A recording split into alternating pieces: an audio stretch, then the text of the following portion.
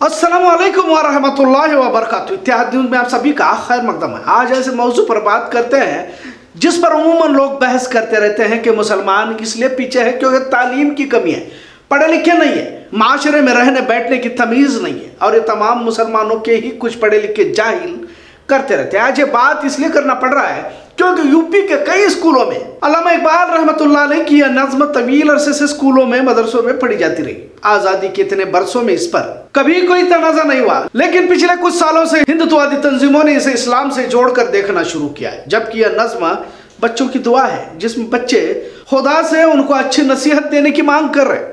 उत्तर प्रदेश के बरेली ज़िले के सरकारी प्रिंसिपल वजीरुद्दीन को हिंदुत्ववादियों की शिकायत पर सस्पेंड कर दिया गया, जबकि यह नज्म आज़ादी के पहले से स्कूलों, मदरसों में पढ़ाई जाती रही है। इतला के मुताबिक, मेरे अल्लाह बुराई से बचाना मुझको इस पर हिंदुत्ववादियों को एतराज़ है। उन्होंने स्कूल इंतजामिया पर, यानी बजरंग दल आरएसएस ने कहा है कि धर्म परिवर्तन की कोशिश इसके ज़रिए से की जा रही है। इससे पहले भी 2019 में पिलभीत में ऐसा ही तनाजा खड़ा किया गया था। उत्तर प्रदेश के पिलभीत ज़िले में एक सरकारी स्कूल के प्रिंसिपल को मुकामी विश्व हिंदू परिषद और बजरंग दल के लीडरों की शिकायत के बाद सस्पेंड कर दिया गया। शिकायत में कहा गया कि तलबा तालिबात सुबह की दुआ में लप आती है, दुआ बन के तमन्ना मेरी गा रहे थे। लिहाजा प्रिंसिपल फुरकान अली ने बताया कि तलबा रोज़ाना राष्ट्रगान गाते हैं और अल्लामा इकबाल की नज्म क्लास एक से आठ तक के उर्दू सिलेबस का हिस्सा है। विश्व हिंदू परिषद और हिंदू युवा वाहिनी के कारकुनान ने मुझे स्कूल से बेदखल करने की मांग को लेकर स्कूल और डीसी दफ्तर के बाहर एहतजाज किया है। मुझे महज नज्म मिली है, जो सरकारी स्कूल के सिलेबस का हिस्सा है, जिसे पढ़ा जाता है। ऐसा नहीं कि सिर्फ़ लप्याती दुआ पढ़ी जाती है, बल्कि भारत माता की जय के नारे भी लगाए जाते हैं। वजीरुद्दीन के वकील इस्लाम खान का कहना है कि उनके मुवक्किल के खिलाफ ये मामला विश्व हिंदू परिषद की ओर से बनाए गए दबाव के चलते इस मामले को तूल दिया गया। इस्लाम खान ने कहा लप्याती है, दुआ नज्म किताब में लिखी हुई है और यह किताब सरकार ने ही दी है। अगर उन्हें इस दुआ से एतराज़ है तो उन्हें सरकार से कहना चाहिए कि अगले इजलास से यह किताब बच्चों को न दी जाए। असातिजा बच्चों को वही पढ़ाएँगे जो किताब में लिखा है। उन्हें जल्द ही जमानत मिल जाएगी। यह मामला कोर्ट में टिक नहीं पाएगा।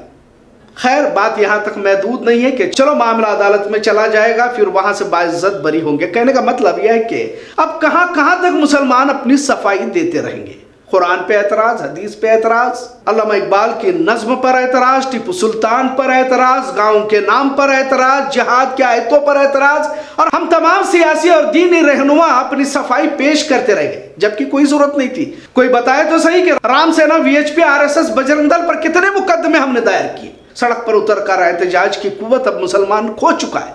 लेकिन अब भी अदालती जंग लड़ सकते हैं। इससे बढ़कर और अखलाक की पस्ती क्या हो सकती है कि मेरे अल्लाह बुराई से बचाना मुझको को हिंदुत्ववादियों की जानब से एतराज़ इसलिए किया गया क्योंकि इस नज्म के ज़रिए धर्म परिवर्तन यानी मज़हब तब्दीली का अंदेशा है। अब इस पर भी मिल्लत का बड़ा तबका खामोश है। तो इसे मुसलमानों की अखलाक की दिवाली नहीं तो क्या कहा जाए? और क्यों कर एजुकेशन और तालीमी पिछड़े का दावा हम करते हैं? जब तुम्हारे जहन ही गुलाम बनते जा रहे आईएएस आईपीएस अफसर भी बनाते हैं तो मिल्लत की खातिर क्या काम कर पाएँगे? पढ़ा लिखा कर आरएसएस के हिमायती हमारी नस्ल बन रही है तो तुम्हारा गुलाम बनकर इस माशरे में महँगी कारों कोटाई के साथ रहना क्या मायने रखता है? फिर किस बात का मातम हम मना रहे हैं? क्या पहले के मुकाबले में हम ज़्यादा पढ़े लिखे नहीं है?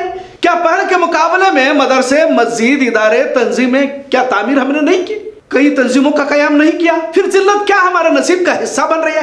क्योंकि हमने हर जगह पर समझौता करना सीख लिया है? लप्पे आती है दुआ पढ़ते पढ़ते, कई नस्लें जवान हुई। अब तो किसी को एतराज़ नहीं था, लेकिन अब तुम्हारे हर लफ्ज पर एतराज़ किया जा रहा है, क्योंकि तुमने हर बात को खामोशी से सहना, अपनी आदत बना ली है। आज के मुसलमान को किसी तरह जालिम के खिलाफ आवाज़ उठाना नहीं है। और जब हम अपने बच्चों को सिर्फ़ दौलत कमाने के लिए या माशरे में अपना स्टेटस मेंटेन करने के लिए ही पढ़ाते हैं तो माशरे में फिर से कोई अल्लामा इकबाल या टीपू पैदा नहीं हो सकते। बल्कि आज की तरह भेड़ बकरियाँ ही पैदा होंगे, लाखों में तो होंगे, लेकिन कौम के फ़ायदे के खातिर कोई आवाज़ नहीं उठाएगा, क्योंकि हमने बतौर मुसलमान तालीम दी ही नहीं। अपने बच्चों को यही सिखाया कि पढ़ेगा लिखेगा तो बनेगा नवाब। और हुआ भी ऐसा ही।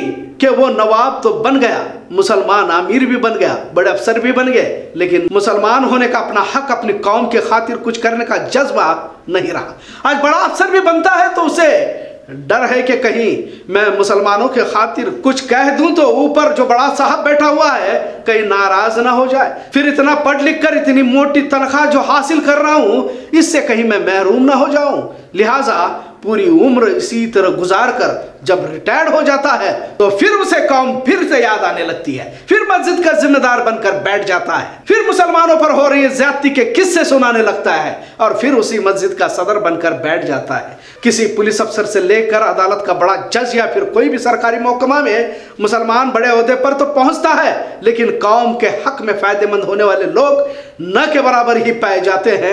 ये इस कौम का अलमिया है और ये सच्चाई भी है।